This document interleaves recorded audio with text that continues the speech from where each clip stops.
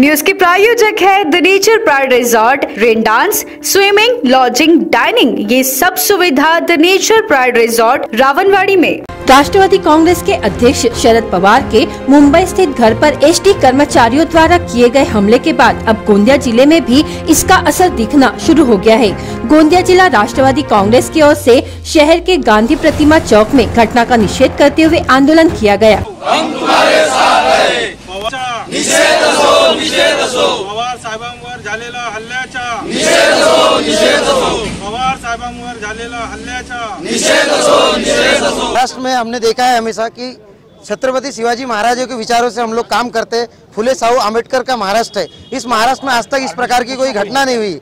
और आज हमारे देश के नेता आदरणीय शरद पवार साहब के घर पे जो ये हमला हुआ है जिसके लिए पूरे महाराष्ट्र के शर्मसार करने वाली जो घटना हुई है, इसका हम आदरणीय प्रफुल्ल भाई पटेल, आदरणीय जैन साहब और पूरे राष्ट्रवादी की ओर से घोर इसका विरोध प्रदर्शन करते हैं और निषेध करते हैं और आने वाले भविष्य में ऐसी कोई भी महाराष्ट्र में कार्रवाई ना हो, ऐसी कोई क्रिया ना हो और जिन लोगों ने क्रिया, ऐसी कार्रवाई की है, उनके ऊपर उचित कार्रवाई हो, इसी मांग के साथ हम पूरे महाराष्ट्र में राष्ट्रवादी कांग्रेस और युवक कांग्रेस के मार्फत से इसका विरोध दर्ज करते हैं।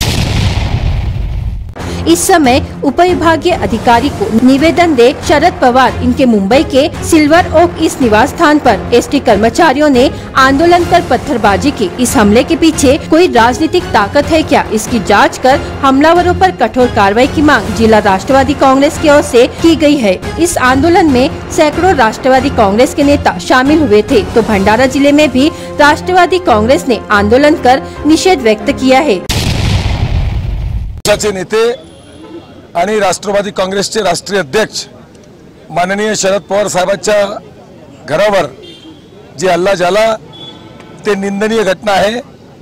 आणि ज्या लोकांनी हमला केला याच्या मागे कोणाचा मास्टर माइंड आहे का आहे याची जाच कडकाईने झाली पाहिजे.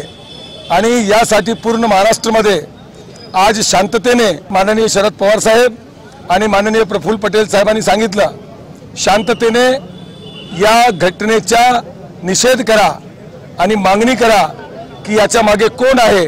शरद पवार सारखे जाणता राजा ज्याच्या घरावर असा निंदनीय हमला झाला हे महाराष्ट्राला शोभनीय घटना नाही आणि पूर्ण राष्ट्रवादी काँग्रेस पार्टी याचा निषेध करते.